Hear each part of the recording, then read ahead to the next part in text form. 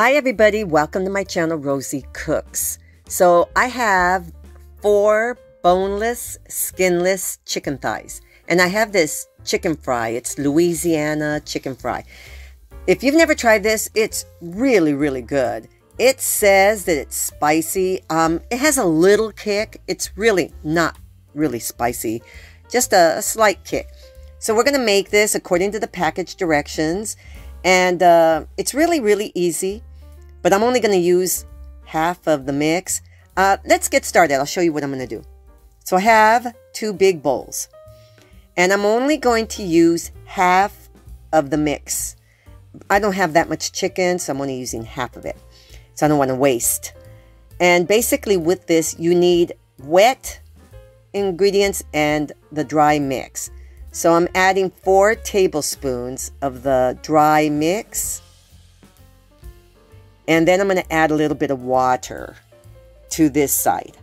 So I'm going to add a quarter of a cup to start.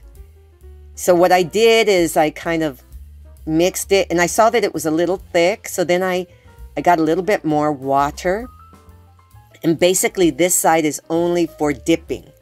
So I added a couple of extra tablespoons just to get the right consistency. So now check it out. It's kind of watery it's perfect. All you're going to do is coat your uh, chicken. You're just dunking it in the wet ingredients. And then you're going to go into the dry ingredients. So here's my first piece. And basically you're just going to wet it and let it let it drip dry. Just drip it. And then go into the dry ingredients. Okay, so basically that's it. You don't even need salt and pepper for this mix. It's a really good seasoning mix to coat it's an easy way to make fried chicken thighs. So then I put it on a plate. Okay, so I'm going to go ahead and do the rest of my chicken. First one side and then the other side.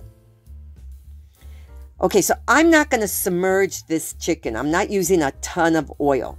I'm just coating the bottom of a frying pan. It's nice and hot, about a medium high heat or so. And I'm just going to cook this until they're cooked through till the internal temperature is 165.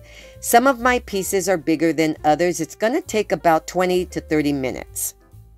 And look at this. It's a beautiful golden color. It's uh, crispy on the outside.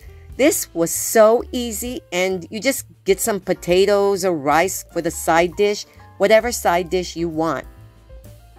So now I'm adding a little bit of parsley just to give it color. This is a super easy way to make a main dish and then just whatever side dish you want. It comes out really, really flavorful. If you've never tried it, I really recommend it.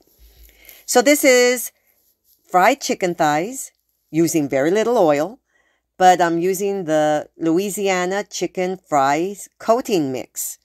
So this is fried chicken thighs. Thank you so much for watching.